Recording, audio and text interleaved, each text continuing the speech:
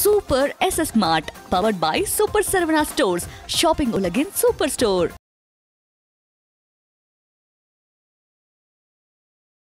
ஏன் இதுக்கு மட்டும் இந்த மாதிரி பிரச்சனை பண்றாங்க? என்ன ரீசன் என்ன காரணம்? ஒருவேளை பொலிட்டிக்கல் ப்ரெஷராக இருக்குமா? ஏன்னா எல்லாருமா தான் நம்ம ரியாக்ட் பண்ணுவோம். எங்க ஓப்பனிங் பாருங்கடா நீங்க. எங்க பட தலைவனோட ஓப்பனிங் நீங்க பாருங்க. மிரண்டு போறீங்களா இல்லையா பாருங்க. ஏன்னா அஹ், ஏன்னா இவர் வளர்ச்சியை தடுக்க பாக்குறாங்க ஏன்னா இவர் பொலிட்டிக்கலாக நிறைய விஷயங்கள் பண்ணுறான்றதுனால தடுக்க பாக்குறாங்களோ இவங்க என்ன சொல்றாங்க? இந்த இந்த ப்ரொமோஷன்லாம் இருந்தால் தான் விஜய் படம் ஓடுமா? ஆடியோ லான்ச் கேன்சல் தெரிஞ்சு போயிடுச்சு வாட் நெக்ஸ்ட் நேற்று லியோ ஆடியோ லான்ச்சுடைய கேன்சல் அப்படின்ற நியூஸ் வந்ததுக்கு அப்புறமா இருந்த விஷயங்கள் இப்போ வரைக்கும் நம்ம இப்போ உட்காந்து பேசக்கூடாது. அதை பற்றி தான். இருந்தாலும் அதுக்கு முன்னாடி வரைக்கும் ஒரு ப்ரிப்பரேஷன்ஸும் ஒரு எக்ஸ்பெக்டேஷன்ஸும் இருந்ததில் அந் அந்த மூட் எப்படி இருந்துச்சு? அந்த மூடெல்லாம் வார்த்தைகளால் சொல்லவே முடியாது. அந்த ஒரு மகிழ்ச்சியான ஒரு தருணத்தில் இருந்தோம். ஃபேன்ஸ் எல்லாமே. ஏன்னா ஒரு இந்தியாவே எதிர்பார்க்கக்கூடிய ஒரு படம் லியோ. நான் தளபதி என்ற ஒரு ஒருத்தர் இருக்கார் லோகேஷ் கனகராஜன் போது ரெண்டு பேர் சேர்ந்து வருதுன்ற போது ஒரு மிகப்பெரிய எக்ஸ்பெக்டேஷன் இருக்கக்கூடிய ஒரு படம் லியோ. ரொம்ப எதிர்பார்ப்போட இருந்தோம் ஃபேன்ஸ்லாம் ஆடியோ லான்ச்சில் தளபதி என்ன பேச போறாரு என்ன மாதிரி விஷயங்கள்லாம் சர்ப்ரைஸ்லாம் நிறையா வச்சுருந்தாங்க.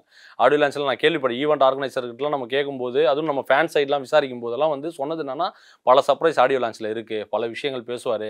நம்ம எல்லாம் நிறைய நாங்கள் எதிர்பார்த்துருந்தோம். ஒரு மிகப்பெரிய எதிர்பார்ப்பில் இருந்தோம் நாங்கள் ஃபேன்ஸ் எல்லாமே வந்து போகலாம் தலைவனை பார்க்கலாம் என்ஜாய் பண்ணலாம் என்ன மாதிரி ஸ்பீச் இருக்க போகுது அந்த குட்டி ஸ்டோரின்னு சொல்லிட்டு ஒரு மிகப்பெரிய எதிர்பார்ப்போட ஃபேன்ஸை வெயிட் பண்ணிக்கிட்டே இருக்கும்போது நேற்று மதியம் வரைக்கும் கூட பாஸ்லாம் வந்து ரெடி எல்லாம் ஓகே எல்லாம் பக்காவாக இருக்குது இனிமேல் கொடுக்க வேண்டியதாக ஸ்டார்ட் பண்ண போகிறாங்க லாஸ்ட் மினிட்லனா எங்கள் எங்கள் தளபதிக்கு பொறுத்த வரைக்கும் எல்லாமே லாஸ்ட் மினிட்ல தான் எல்லாமே நடக்கும். கடந்த பத்து வருஷமாகவே நாங்கள் பார்க்குறோம் பிரச்சனைகள்லாம் பார்க்கும்போது கடைசி டைமில் தான் எல்லாமே நடக்கணும் போது எங்களுக்கு பழகின ஒரு விஷயமா இருந்தாலும் உங்களுக்கு ரெண்டு மணிக்கு மேலே பாஸ்லாம் எக்ஸிபிட் பண்ண போகிறாங்க டிஸ்ட்ரிபியூட் பண்ண போகிறாங்க எல்லாம் ரெடியாக இருங்க. மாஸ் செலிப்ரேஷன் இருக்குன்ற மாதிரி மெயின் செட்டில் ஆன்லைன்லலாம் நம்ம டேக்லாம் போட்டு செலிப்ரேஷன்லாம் பெருசாக பண்ணலாம் தான் பிளானில் இருந்தோம்.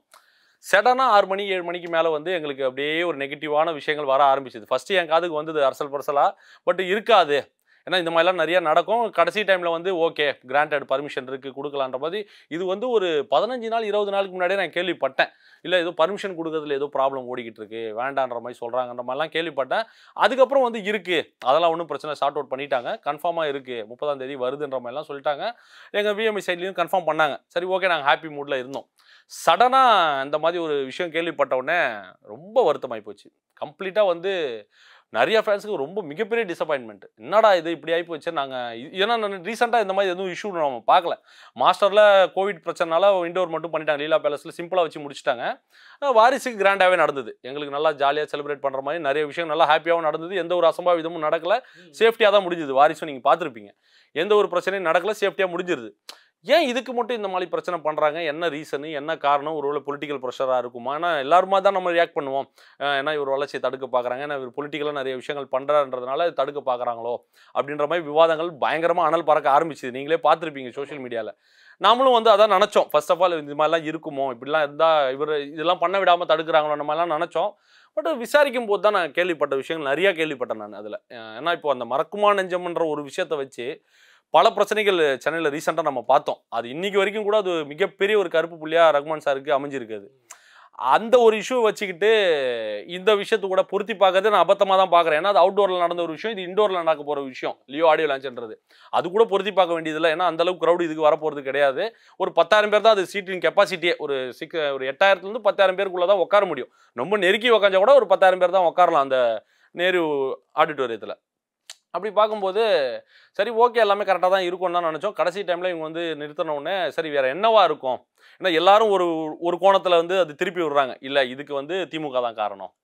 ஓப்பனாகவே நம்ம பேசலாம். அதில் என்ன இருக்குது ஏன்னா நடக்க சோஷியல் மீடியாவில் நம்ம பார்த்தது அதுதான். வளர்ச்சியை தடுக்க பார்க்குறாங்கன்னு சொல்லிட்டு பத்திரிகையாளர்கள்லாம் வந்து ஒரு மூத்த பத்திரிகையாளர் ஒருத்தர்லாம் வந்து போட்டு விட்டார். ரெண்டு நாளுக்கு முன்னாடியே இதுக்கு பின்னாடி ரெட் ஜெயின்ட் இருக்குது அவங்க இருக்காங்க இவங்க இருக்காங்கன்ற மாதிரி போட்டு பார்த்தாங்க. எனக்கும் அப்படி தான் தோணுச்சு. ஒருவேளை இருக்கலாமா? ஏன்னா வந்து இவரோட நம்ம தளபதியோட தொடர் அரசியல் நடவடிக்கைகள் நலத்திட்ட உதவிகள்லாம் வந்து ஓரளவுக்கு ஆளுங்கட்சிக்கு ஒரு சலசலப்பையோ ஒரு அச்சத்தை ஏற்படுத்தியிருக்குமோன்ற மாதிரிலாம் கூட நமக்கு தோணுச்சு. பட் இந்த ஆஃப்டர் இந்த மறக்குமா நெஞ்சத்துக்கு அப்புறம் வந்து நடந்த குளறுபடி அதனால நடந்த பிரச்சனை மக்களுக்கு ஏற்பட்ட பாதிப்பு அதெல்லாம் வந்து கருத்தில் கொண்டு காவல்துறை வந்து ரொம்ப கவனமாக இந்த விஷயத்தை ஹேண்டில் பண்ணணும். ஆல்ரெடி வந்து ஒரு பதினஞ்சாயிரம் ஃபேக் பாசஸ் கிட்ட வந்து சேல் ஆயிருச்சு. ஆன்லைனில் ஓப்பனாகவே இன்ஸ்டாகிராம்லலாம் போட்டு சேல் பண்ணியிருக்காங்கன்ற மாதிரிலாம் வந்து சொன்னாங்க. நம்மளும் ஆன்லைன்லேயும் நானும் பார்த்தேன். ஃபேக் பாசஸ்லாம் போட்டு சேல் பண்ண மாதிரி பதினஞ்சாயிரரூபா பத்தாயிரரூபா ஐயாயிரரூபான்ற மாதிரிலாம் கூட சேல் பண்ணியிருந்தாங்க. நம்மளும் பார்த்தோம். நம்மளும் வந்து என் சோஷியல் மீடியாவில் நானும் போட்டேன். இல்லை அது நம்பாதீங்க அது ஃபேக்ன்ற மாதிரிலாம் போட்டோம். பட் எத்தனை பேருக்கு தெரியும்? நம்பி வாங்குறவங்க இருக்க தானே ஆயிடுச்சு அது. ஸ்ப்ரெட் ஆயிருச்சு அது. ஸ்ப்ரெட் ஆன உடனே இல்லை இந்த மாதிரி ஒரு விஷயம் நடக்குதுன்றதும் தயாரிப்பாளருக்கு அதுக்கு போயிடுச்சு. அதுவும் இல்லாமல் வந்து இந்த இசை வெளியீட்டு விழாக்கு பாசஸ் ரெக்வஸ்ட் மட்டுமே எண்பத்தஞ்சாயிரத்துலேருந்து ஒரு லட்சம் ரெக்வஸ்ட் கிட்ட வந்திருக்கிறதா கேள்விப்பட்டோம். அந்த அளவுக்கு எதிர்பார்ப்பு அந்த அளவுக்கு வந்து கூட்டம் வரும்ன்றது ஒரு எதிர்பார்ப்பு ஒன்று இருந்தது. இதெல்லாம் வந்து காவல்துறை கவனத்துக்கு போயிருக்கு.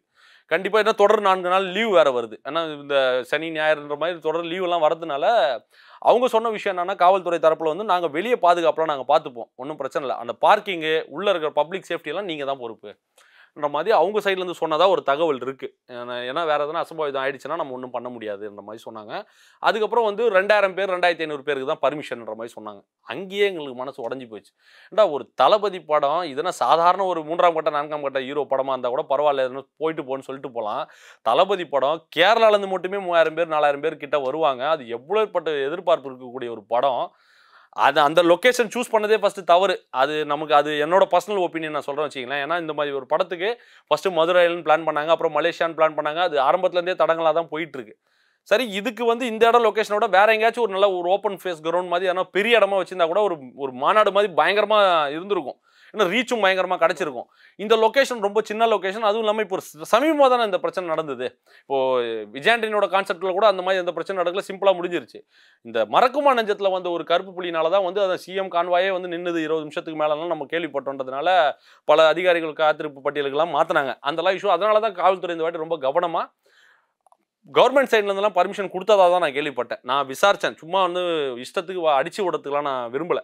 நான் கம்ப்ளீட்டாக வெரிஃபை பண்ணிட்டு தான் நான் சொல்கிறேன் நான் கேட்டேன் கவர்மெண்ட் சைடில் தான் பர்மிஷன் கொடுத்ததா அதெல்லாம் கொடுத்துட்டாங்க ஒன்றும் பிரச்சனை இல்லை. பட் சேஃப்டி இந்த மக்கள் கண்டிப்பாக கூடுவாங்க. ஹெவியாக க்ரௌடு வரும். நாலாயிரம் வெஹிக்கிள் கிட்டேருந்து டெஃபினட்டாக வரும் உங்களுக்கு. காரு பைக்லாம் வந்ததுன்னா பார்க்கிங்க்கு இடம் கிடையாது. இதெல்லாம் நிறைய பிரச்சனைகள் இருக்குது ஏதாச்சும் ஒரு அசம்பாவிதம் நடந்தால் அது யாருக்கு பொறுப்புன்ற மாதிரி ஒரு கேள்வி கேள்வி அந்த இடத்துல வந்தது. அதுக்கப்புறம் தான் தளபதி கிட்ட போய் கேட்டிருப்பாங்கன்னு நினைக்கிறேன். அவர் சொல்லியிருப்பாரு. ஏன்னா அவரை பொறுத்த வரைக்கும் என்னன்னா நமக்கு இந்த இசை வெளியீட்டு விழா ப்ரொமோஷன்லாம் தாண்டி ஃபேன்ஸோட சேஃப்டி அவர் ரொம்ப முக்கியமாக பார்ப்பார். நீங்கள் ஆடியோ லான்ச்லேயே சர்க்கார் ஆடியோ லான்ச்லேயே ஏதோ ஒரு ஆடியோ சொல்லியிருப்பார். நீங்கள் என்ன என் பேனரை உடைங்க எதனா பண்ணுங்கள் என் ரசிகை மேலே மட்டும் கை வைக்காதீங்கிற மாதிரி சர்க்கார் ஆடியோ லான்ச் தான் நினைக்கிறேன். என் ரசிகை மேலே மட்டும் கை வைக்காதீங்கிற மாதிரிலாம் அவர் சொல்லியிருப்பார். அவருக்கு ஃபேன்ஸோட சேஃப்டி ரொம்ப முக்கியம். பப்ளிக்கு எந்த ஒரு பிரச்சனையும் டிஸ்டர்பன்ஸும் வந்துடக்கூடாது. ஏன்னா நம்ம அந்த வீடியோலாம் தொடர்ந்து பார்த்தோம் நம்ம. இந்த மறக்குமான நெஞ்சமோட கான்செப்ட்டில் வந்து நாங்கள் ஏன் அஞ்சு மணி நேரம் நிற்கணும் எங்களுக்கு இதுனா தலை தானே? எனக்கும் அந்த நிகழ்ச்சிக்கும் சம்மந்தமே இல்லை. நான் ஏன் நிற்கணும் பாத்ரூம் போக முடியல எந்த ஒரு வசதியும் இல்லை. ரோட்டில் அழுதுகிட்டு குழந்தைங்களோட நம்ம அவஸ்தைப்பட்டோன்றதெல்லாம் பல கிளிப்பிங்ஸ் நம்ம பார்த்தோம். அது மாதிரி ஏதாவது ஒரு அசம்பாவிதம் நடந்துருச்சுன்னா ஒரு மிகப்பெரிய ஒரு கருப்பு புள்ளியாக மாறதுக்கான வாய்ப்பு இருக்குது அதனால் இது தேவையில்லை. எதுக்குன்ற மாதிரி ஒரு முடிவு எடுத்ததா ரொம்ப கனத்த இதயத்தோட தான் இந்த முடிவு எடுத்திருக்காங்க அவங்க. டீம் ப்ரொடக்ஷன் டீம்லேருந்து பார்த்துக்கலாம். அதுக்கேற்ற மாதிரி வேறு எதனா ஒரு ப்ரொமோஷனலாக அவங்க இறக்குவாங்கன்னு நாங்கள் வெயிட் பண்ணிகிட்டு இருக்கோம். ஏன்னா வருத்தமாக தான் இருக்குது ஒரு விஜய் ரசிகனா எனக்கு தனிப்பட்ட முறையில் கேட்டிங்கன்னா தலைவனை பார்க்க முடியலையே? ஒரு ஸ்பீச்சை கேட்க முடியலையே. ஏன்னா வருஷத்துக்கு ஒரு தடவை தான் அதெல்லாம் நிகழ்வுலாம் நடக்குது. ஏன்னா தலைவர் வருஷத்துக்கு ரெண்டு படம் ஒன்றும் கொடுக்கல. ஒரு படம் தான் பண்ணுறாருன்றதுனால ரொம்ப வருத்தமாக தான் இருந்தது. எனக்குன்னு இல்லை எல்லா தளபதி ரசிகர்களும் பெரிய டிசப்பாயின்மெண்ட் ஆயிடுச்சு. ஆனால் பட் அதுக்கேற்ற மாதிரி வேறு எதனா ஒரு ஆல்டர்னேட் ப்ரொமோஷன் ஐடியாஸ் எதனா கண்டிப்பாக வச்சுருப்பாங்க. இருக்காமலாம் இருக்காது. அது வரும் நாட்களில் தான் நமக்கு தெரியும் என்ன மாதிரி ப்ரொமோஷன்லாம் பண்ண போகிறாங்கன்றது ரசிகனாக ரொம்ப வருத்தத்தில் தான் நாங்கள் இருக்கிறோம் இந்த நிமிஷம் வரைக்கும். புரியுது பிரதர் நீங்கள் சொன்னீங்கல்ல பொதுவாக நம்ம பார்க்கும்போது இது ஒரு பொலிட்டிக்கல் ப்ரெஷராக இருக்குமோ அப்படின்ற ஒரு பாயிண்ட் ஆஃப் வியூவில் தான் வந்து பார்ப்போம். அண்ட் அவருடைய கடந்த கால படங்கள் ஒவ்வொரு படத்துக்கும் ஒவ்வொரு வகையான சிக்கல் வந்துட்டு இருக்கும். இந்த வரக்கூடிய அந்த தடங்களும் அவருடைய இந்த க்ரோத்தும் ரெண்டுமே பார்த்தோன்னா வேற ஒரு லீக்ல தான் இருக்கும். நீங்கள் ஒரு ஃபேனாக இது எப்படி பார்க்குறீங்க? இல்லை ஃபேனை பழகி போயிடுச்சுங்க எங்களுக்கு. நான் தான் சொல்கிறேன் எல்லா இடத்துலையும் சொல்கிறது அது ஒன்று மட்டும் தான் ஏன்னா சிலருக்கு வந்து இப்போ புதுசாக ஒரு நடிகருக்கு ஒரு பிரச்சனை வருதுன்னா அந்த ரசிகர்களுக்கு வந்து என்னடா எங்கேருந்து பிரச்சனை வருதுன்னே தெரியலன்ற மாதிரி யோசிப்பாங்க. நமக்கு தான் கடந்த பத்து வருஷமும் நம்ம பார்க்காத பிரச்சனையே கிடையாது. கத்தி துப்பாக்கி தெரி மெர்சல்னு சொல்லிட்டு நீங்கள் பார்க்காத பிரச்சனையே கிடையாது. மெர்சல்லாம் எந்த அளவுக்கு நேஷனல் டிபெக்ட் ஆச்சுன்றது உங்களுக்கு நல்லாவே தெரியும். இந்தி ஊடகங்கள்லாம் பேசிச்சு அந்த படத்தை பற்றி ஏன்னா இவரோட இது எல்லாம் தூக்கி போட்டாங்க. ஜோசப் விஜய் கான்ட்ரவர்சின்னு சொல்லி உங்களுக்கு பல பிரச்சனைகள் நம்ம பார்த்துட்டு கடந்து வந்துட்டோம். பட் இந்த பிரச்சனையில் வந்து பொலிட்டிக்கல் ப்ரெஷர்ஸ் இருக்கா? என்றது வந்து நம்ம வந்து ஹண்ட்ரட் பர்சன்ட் தெரியாமல் நம்ம எதுவும் வாயவும் விடவும் முடியாது. இது இருக்குமா இல்லையான்றது நம்ம கன்ஃபார்மாக தெரியாது. விசாரிச்சது வரைக்கும் சொல்கிறவங்களோட கோணத்தில் பார்க்குற வரைக்கும் இது நடக்காமல் இருந்தது ரொம்ப ரொம்ப நல்லதுன்ற மாதிரிலாம் சொல்கிறாங்க ஏன் நீங்கள் அப்படி சொல்கிறீங்க நம்ம கேட்கும்போது இல்லை. இது மூலிமா எதனா ஒன்று ஆயிடுச்சுன்னா நாளைக்கு தளபதியோட அந்த பொலிட்டிக்கல் கரியருக்கு ஏதாச்சும் ஒரு ஒரு கருப்பு புள்ளி மாதிரி வந்து விழுந்துரும். அவருக்கு நாளைக்கு என்ன சொல்லுவாங்க? அவரோட படம் தான் முக்கியம். அசம்பாவிதம் நடக்குது நடக்கலைன்றது வேற. நம்ம அந்த கேள்விக்குள்ளே போக வேணாம். சப்போஸ் அப்படி நடந்தால் ஏன் இவ்வளோ பிரச்சனை வருதுன்னு போலீஸ் அதிகாரிகள் சொல்லியிருக்காங்க. மற்ற சைட்லேருந்தெல்லாம் சொல்லியிருக்காங்க. இதெல்லாம் உங்களுக்கு அசம்பாவிதம் நடந்ததுக்கு அப்புறம் இன்னைக்கு வியாக்கியானம் பேசுகிறவங்களாம் நாளைக்கு என்ன சொல்லுவாங்க? இன்னைக்கு நக- நம்ம நான் அந்த மறக்குமானஞ்சம் படத்தில் அந்த இதில் நிகழ்ச்சியில் நடந்த பிரச்சனைக்கு நம்ம யாரை வந்து ப்ளேம் பண்ணுறோம் ரகுமான் தான் பிரச்சனை. அவர் தான் பொறுப்பேற்றுக்கணும் இதுக்குன்னு சொல்கிறோம் அதுக்கும் அவருக்கு என்ன சம்பந்தம்? நிகழ்ச்சி நடத்துனது வேற யாரோ. ஆனால் பொறுப்பேற்றுக்கணும்னு சொல்லிட்டு சோஷியல் மீடியாவில் மக்கள் கொதிச்சு திட்டுறது யார? ரகுமான் அவர்களை தான் திட்டுறாங்க. நீங்கள் எப்படி அப்படி பண்ணலாம்? உங்களால தான் உங்களால தான் சொல்லி அவரை ப்ளேம் பண்ணுறாங்க நாளைக்கு இங்கே ஏதாச்சும் ஒரு பிரச்சனை நடக்கும் பட்சத்தில் அதை பொறுப்பேற்றுக்கிறது யார்? நாளைக்கு அவருக்கு வந்து எதிர்ப்பை விட தளபதினா சொல்லவா வேணும்? அல்வா மாதிரி எடுத்துப்பானுங்க. எடுத்து அதை ரொம்ப பயங்கரமாக அது அப்படியே எப்படி சொல்ல இன்ட்டு ஹண்ட்ரட் மாதிரி பயங்கரமாக அடிக்க ஆரம்பிச்சிருவாங்க. அது வந்து ஒரு மிகப்பெரிய ஒரு கான்ட்ரவர்சியில் போய் முடியும். இன்னைக்கு பேசுகிறவங்கலாம் வந்து நாளைக்கு அது அந்த பதில் சொல்ல முடியுமா?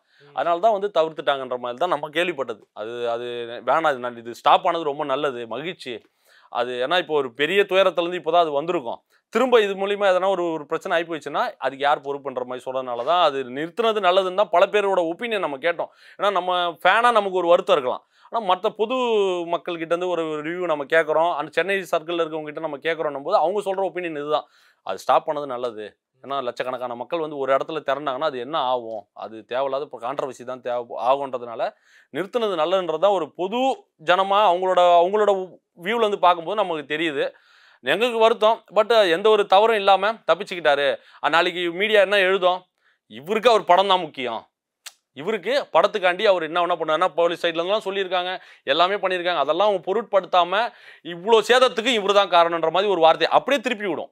மீடியா நமக்கு என்ன பண்ணணும் நமக்கு நல்லாவே தெரியும். அதனால் இது தவிர்த்துட்டது ஓரளவுக்கு நல்லதாக தான் படுது பார்க்கும்போது. அதனால் சேஃப்டி எதுவும் எந்த ஒரு பாதிப்பும் ஏற்படாமல் பிரச்சனை இல்லாமல் அது முன்கூட்டியே தவிர்த்துட்டது நல்லதாக படுது. அதுக்கு வேறு எதனா ஒரு ஆல்டர்னேட் விஷயம் கண்டிப்பாக லியோ சைட்லேருந்து பண்ணுவாங்க நாங்கள் எதிர்பார்த்து வெயிட் பண்ணிக்கிட்டு இருக்கோம் இந்த நிமிஷம் வரைக்கும். ஓகே பிரதர் இப்போ ஆடியோ லான்ச் நடந்து அதில் ஒரு விஷயம் அவர் குட்டி ஸ்டோரி இல்லை ஃபேன்ஸ்க்காக பாடுறது அந்த செலிப்ரேஷன்ஸ் அதுக்கப்புறம் படம் போய் பார்க்குற ஒரு மைண்ட் செட் வந்து ஒரு மாதிரி செம பாசிட்டிவாக பூஸ்டடாகவே இருக்கும்.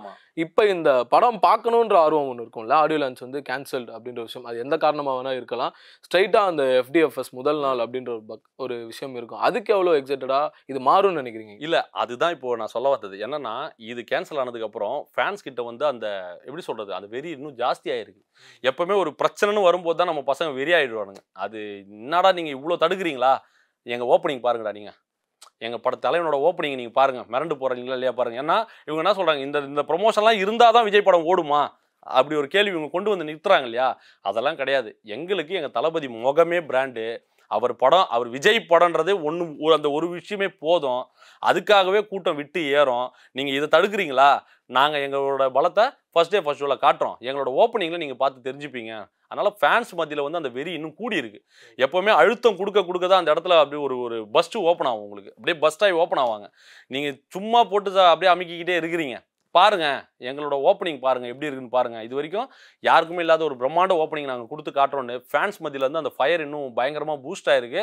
பசங்க விடுறதா இல்லை. நீங்கள் லியோவோட ஓப்பனிங் நீங்கள் பார்க்க தான் போகிறீங்க நீங்கள் அது எல்லாத்தையும் கவர் பண்ண போகிறீங்க உங்கள் சேனல்லையும் பாருங்கள் இது வரைக்கும் இல்லாத ஒரு ஓப்பனிங்காக கண்டிப்பாக இந்த படத்துக்கு லியோக்கு டெஃபினட்டாக இருக்கும். அதில் எந்த ஒரு மாற்று கருத்தும் கிடையாது. ஃபேன்ஸில் டிசப்பாயிண்ட் ஆகிற பசங்க நம்ம பசங்க கிடையாது. ஏன்னா நான் தான் ஆரம்பத்திலே சொன்ன மாதிரி பழகிட்டோம். அதனால் இது ஒன்றும் எங்களுக்கு பெரிய பிரச்சனையாக படலை. எங்களுக்கு எங்கள் தலைவர் முகம் தான் மெயின்ன்றதுனால அவரோட படம் அது ஒன்று போதும். ஓப்பனிங் பார்த்து நீங்களே தெரிஞ்சுப்பீங்க. ஏன்னா ஒரு ப்ரொமோஷனல் எதுவும் பண்ணலை ஒரு ஆடியோ லான்ச் நடத்தலை விஜய் ஸ்பீச் இல்லை. ஆனால் படத்துக்கு இந்த அளவுக்கு ஒரு ஓப்பனிங் வந்திருக்குன்னா அது விஜய் என்ற ஒரு பிராண்டுக்காகவே வந்திருக்குன்னு கண்டிப்பாக மீடியா எழுதுமா இல்லையான்னு மட்டும் நீங்கள் பாருங்க. ஓகே பிரதர் இப்போது ப்ரொடக்ஷன் கம்பெனியும் இருக்கட்டும் இந்த ஆடியோ லான்ச் ஒர்க் ஒரு பக்கம் இருந்தாலும் ஒரு ஒரு வாரமாக பத்து நாளாகவே வந்துட்டு நிறைய ட்வீட்ஸ் வந்து நம்ம பார்ப்போம். அப்டேட் கொடுங்க அப்டேட் கொடுங்க அப்டேட் கொடுங்கன்னு லலித் அவர்களை போட்டு நிறைய பேர் ரோஸ்ட் கூட பண்ணிட்டு இருந்தாங்க எல்லாரும். அவங்க அந்த அன்பை எப்படி எக்ஸ்பிரஸ் பண்ணுன்ற. வகையில் பண்ணிட்டு இருந்தாங்க. அந்த அப்டேட்ஸ் விஷயம் எப்படி பார்க்குறீங்க நீங்கள் இப்போ என்ன எக்ஸ்பெக்ட் பண்ணுறீங்க இந்த மாதிரி விஷயங்கள்லாம் நடந்தால் ஃபேன்ஸ் கொஞ்சம் சாட்டிஸ்ஃபைடாக இருப்பாங்கன்னு. இல்லை அப்டேட்ஸ் பொறுத்த வரைக்கும் ஃபேன்ஸுக்கு வந்து என்னென்னா ஒரு எங்கேஜிங்காகவே நம்ம இருக்கணும்னு நினைப்பாங்க. சோஷியல் மீடியாவில் இருக்கிற ஃபேன்ஸுக்கு எப்போவுமே பொறுத்த வரைக்கும். ஆனால் லியோ டீம் பொறுத்த வரைக்கும் ப்ராப்பரான அப்டேட்லாம் கொடுத்துருக்காங்க. இது வரைக்கும் உங்களுக்கு அந்த கிளிசிப்பு விட்டதை ஒவ்வொன்றா ஒவ்வொன்றா ஸ்டெப் பை ஸ்டெப்பாக பார்த்தீங்கன்னா அஞ்சாறு அப்டேட்டுக்கு மேலே விட்டுட்டாங்க. பட பூஜையிலேருந்து அவங்க ஃப்ளைட்டில் கிளம்பி அந்த காஷ்மீர் ஷெட்யூல் போகிற வரைக்கும் வீடியோ போட்டாங்க. வேறு எந்த ஒரு நடிகர் படத்துக்கும் எந்த ஒரு இது வரைக்கும் ஷூட்டிங் ஸ்டார்ட் பண்ணுறாங்களான்னு கூட தெரியல நம்ம நண்பர் அஜித் அவர் படத்துக்கு. ஷூட்டிங் நடக்குதா இல்லையா படம் நடக்குதா இல்லையான்னு கூட தெரியல. அந்தளவு அவங்க டிசப்பாயிண்ட்ல இருக்கும்போது லியோ டீம் பொறுத்த வரைக்கும் ப்ராப்பரான ப்ரொமோஷன் தான் கரெக்டாக பண்ணிக்கிட்டு வராங்க இது வரைக்கும். உங்களுக்கு இதுக்கு மேலே என்ன ப்ரொமோஷன் இருக்குது ஆடியோ லான்ச்சு ட்ரைலரு படம். அவ்வளோதான் இன்னும் மூணே மூணு விஷயங்கள் தான் இருக்குது மிஞ்சி மிஞ்சி மிஞ்சி போனால் செகண்ட் சிங்கிள் எதனா ரிலீஸ் பண்ணுறதுக்கான வாய்ப்பு இருக்குது ஃபேன்ஸை பொறுத்த வரைக்கும் நம்மளுக்கு எதனா நீங்கள் கொடுங்க. எதனா எங்களுக்கு செய்யுங்க. ஏன்னா நாங்கள் எங்கள் தலைவரை செலிப்ரேட் பண்ணிக்கிட்டே இருக்கணுன்ற ஒரு ஆர்வம் இருக்க தான் செய்யுது. அது அது ஒரு எல்லையை மீறி போகும்போது தான் அது பிரச்சனையாக முடியாது தவிர ஒரு ஜாலியாக ஒரு ஃபன்னாக கொண்டு போகிறதுனால எந்த ஒரு தவறும் கிடையாது. அது பேசுறது ஒரு ஆரோக்கியமான விஷயமா தான் நான் பார்க்குறேன். அப்டேட் கேட்குறது. என்னன்னா ஒரு படத்துக்கான ஒரு எதிர்பார்ப்பு எப்பவுமே இருந்துகிட்டே இருக்கும். மக்கள் மனசில் அது ஓடிக்கிட்டே இருக்கும். ஏன்னா சோஷியல் மீடியா நீங்கள் ட்விட்டர்லாம் ஓப்பன் பண்ணி பார்த்தீங்கன்னா அப்டேட் கொடுங்க அது பண்ணுங்க இது பண்ணுங்கன்னு சொல்லும்போது ஒரு எங்கேஜிங்கான ஒரு விஷயமா தான் இருக்குது அந்த படத்தை பற்றி ஒரு டாக் இருந்துகிட்டே இருக்குன்னும் போது அது ஒரு நல்ல விஷயம் தானே அது. அது நெகட்டிவாக நம்ம பார்க்க வேண்டியதில்லை. அது ரொம்ப எல்லை மீறி ரொம்ப கிரிஞ்சித்தனமாலாம் பண்ணும்போது தான் நமக்கு அது வெறுப்பு தட்டுது. ஏன்டா இப்படிலாம் பண்ணுறீங்கன்ற மாதிரி தோணும்? பட் நம்ம பசங்க வரைக்கும் சும்மா ஒரு ஜாலியாக ஒரு ஃபன்னாக தான் அது கொண்டு போகிறாங்க அப்டேட்லாம் கொடுங்க அப்படி செய்யுங்க அப்படி செய்யுங்கன்னு. ப்ரொடக்ஷன் டீமும் சரி ரொம்ப ப்ராப்பராக க்ளீனாக ஃபேன்ஸோட பல்ஸ் புரிஞ்சு தான் அவங்க வந்து நல்லா பயங்கரமாக தான் கொடுத்துக்கிட்டு இருந்தாங்க அப்டேட்லாம் ஆடியோ லான்ச்சுக்கும் இப்போ ஒரு வீடியோ ப்ரோமோ வீடியோலாம் நீங்கள் பார்த்துருப்பீங்க. இப்போ ரீசெண்டாக வந்தது. இன்னைக்கு காலையில் ஒரு அந்த நேற்று ரிலீஸ் ஆக வேண்டிய வீடியோ அது. ப்ரொமோஷன் கண்டென்ட்னு ஒரு வீடியோ ஒன்று ரெடி பண்ணியிருந்தாங்க. ஆடியோ லான்ச்காண்டியே ஒரு ஸ்பெஷலாக ஒரு வீடியோ பண்ணியிருந்தாங்க. செம வீடியோ அது. நான்லாம் பார்த்துட்டு சில்லறையை செதற விட்டோம். அந்த வீடியோ நேற்று வர வேண்டிய வீடியோ அது அப்டேட் வர வேண்டியது. இது கேன்சல் ஆகவே அப்போ அந்த வீடியோ லீக் ஆகி இப்போ சோஷியல் மீடியாவில் ட்ரெண்ட் ஆகிட்டு இருக்கு. இப்போ சுட்டு வாட்ஸ்அப்லலாம் ஷேர் ஆகிட்டு இருக்கு. பயங்கரமாக நான் உங்களுக்கு காட்டுறேன். நீங்கள் அந்த வீடியோ பாருங்கள் அந்த அளவுக்கு அவங்க எல்லாமே இப்போ டீம் ரொம்ப தயாராக இருந்தாங்க. படத்தை வந்து வேறு லெவலில் நம்ம கொண்டு போகிறோம் ஆடியோ லான்ச்னு பட் இந்த தவிர்க்க முடியாத சில காரணங்களால் இந்த இந்த இந்த சேஃப்டி மெஷர்மெண்ட்டு இதெல்லாம் காரணம் காட்டி வேணாம் பெரிய பிரச்சனையிலேருந்து நம்ம தப்பிச்சிக்கலாம். வேண்டான்ற மாதிரி முடிவு பண்ணியிருக்காங்க. இப்போ நீங்கள் கேட்ட கொஸ்டின் வர அடுத்து என்ன? என்ன பண்ண போறீங்க? என்ன மாதிரி மனநிலையில் இருக்கீங்கன்னும் போது கண்டிப்பாக அதுக்கு ஆல்டர்னேட் எதனா ஒன்று இருக்கும். மாஸ்டருக்கு பண்ண மாதிரி வந்து உங்களுக்கு இண்டோர் மாதிரி ஒரு சின்ன ஒரு ஈவெண்ட் மாதிரி பண்ணி லைவ் கூட போடலாம். இன்டர்வியூ பீஸ்ட்டு கொடுத்த மாதிரி இன்டர்வியூ கொடுக்கலாம். இல்லை வேறு எதனா புதுமுறையாக ஒன்று பண்ணலாம். ஏன்னா கேரளாவில் கூட ஆடியோ லான்ச் பார்க்கலாம். கேரளாவில் உங்களுக்கு என்ன மாசு இருக்குது தலைவனுக்கு? கேரளாவில் பண்ணலாம். கேள்விப்படுறது தானே எல்லாமே ஒரு மித்து எல்லாம் சோஷியல் மீடியாவில் பேசுறது தானே. எண்ட் ஆஃப் த டே அவங்களோட ரிசல்ட் தான். அவங்க என்ன முடிவு பண்ண போகிறாங்கன்றது தான். ஏன்னா இது ஒரு பேன் இண்டியா படம்.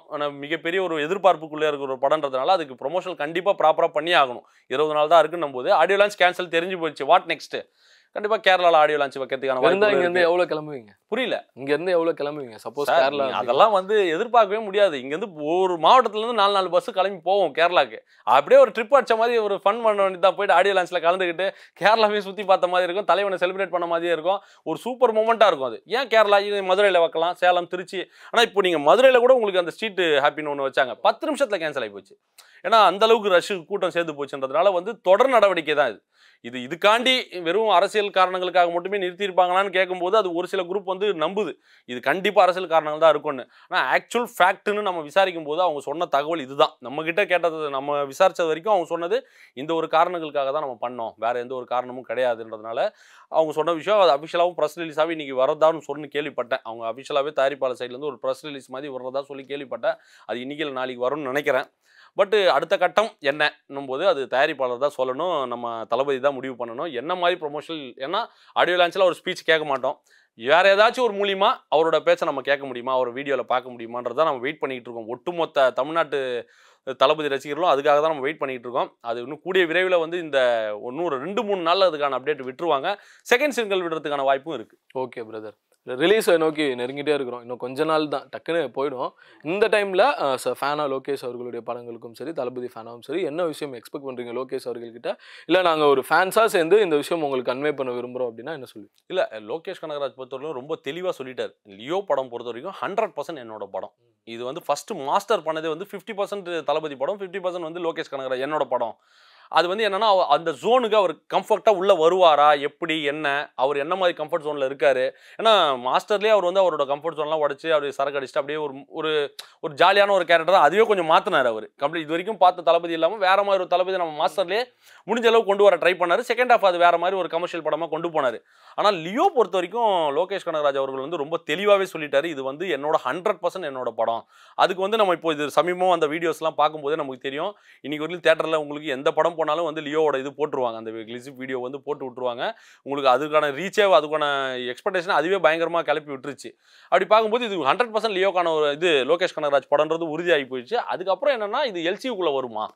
அந்த ஒரு கேள்வி இருக்குது இது எல்சிக்குள்ள வருமா? இது கத்தி கனெக்ட் பண்ணுறாங்களா இல்லை விக்ரம் கனெக்ட் பண்ணுறாங்களா என்ன ஆ கைதி கனெக்ட் பண்ணுறாங்களா என்ன மாதிரி இது கனெக்ட் பண்ணுறாங்கன்றது தான் வெயிட் பண்ணி பார்க்கணும். ஆனால் எல்சியூ கன்ஃபார்மாக அது இருக்குது படத்தில்ன்ற மாதிரி தான் நம்மளும் கேள்விப்பட்டோம். வர தகவல்களும் அப்படி தான் இருக்குது ஏன்னா இது ஒரு வேறு மாதிரி ஒரு ரீச்சுக்கு இந்த படத்தை நம்ம கொண்டு போகணும் இது இது இந்த படத்துக்கு இந்த படத்துக்கு ஆகிற வசூலை விட வேறு எந்த படம் ஆகக்கூடாது. இந்த அளவுக்கு இறங்கி நம்ம சம்பவம் பண்ணணும்னு லோகேஷ் பயங்கரமாக பண்ணியிருக்கிறதா தான் நம்ம கேள்விப்பட்டோம். அந்த டீமில் இருக்கவங்க சொன்னதும் அதுதான்.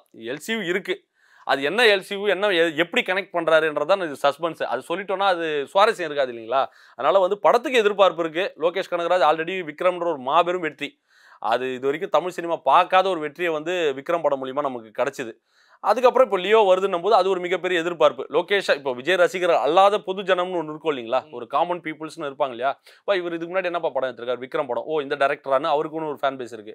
மீதி eighty five percent ninety percent உங்களுக்கு தளபதி படம்ன்ற ஒரு பிராண்ட் இருக்கணும் போது ரெண்டு ஒன்று சேருதுன்னும் போது ஆல்ரெடி அவங்க ஒரு இட்டு கொடுத்துருக்காங்க. மாஸ்டர்ன்ற ஒரு மிகப்பெரிய வெற்றி படம் கொடுத்துருக்காங்க.